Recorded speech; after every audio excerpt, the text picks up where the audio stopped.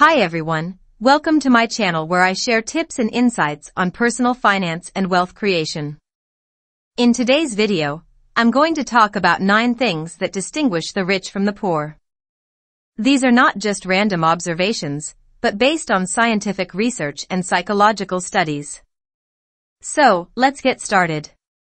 1. The rich have a growth mindset, while the poor have a fixed mindset.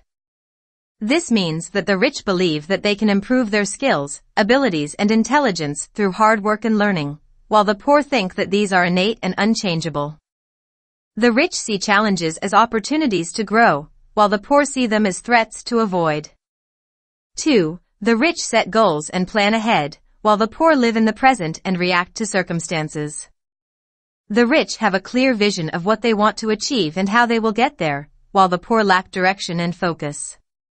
The rich also track their progress and adjust their strategies accordingly, while the poor are easily distracted and give up easily. 3. The rich invest in themselves, while the poor spend on liabilities. The rich spend money on things that will increase their income or net worth, such as education, training, books, mentors, assets, etc., while the poor spend money on things that will decrease their income or net worth, such as consumer goods, entertainment, debt, etc. 4. The rich have multiple streams of income, while the poor rely on one source of income. The rich diversify their income sources and create passive income streams that generate money even when they are not working, such as businesses, stocks, real estate, royalties, etc., while the poor depend on one job or salary that can be lost or reduced at any time. 5. The rich surround themselves with positive and successful people, while the poor associate with negative and unsuccessful people. The rich know that their network is their net worth, and they seek to learn from and collaborate with people who can inspire them, motivate them, and help them achieve their goals, while the poor hang out with people who complain, blame, and drag them down. 6. The rich take calculated risks, while the poor avoid risks. The rich understand that risk is inevitable and necessary for growth and innovation, and they weigh the potential benefits and costs of each decision, while the poor fear failure and loss and prefer to stay in their comfort zone. 7. The rich are generous and grateful, while the poor are selfish and resentful.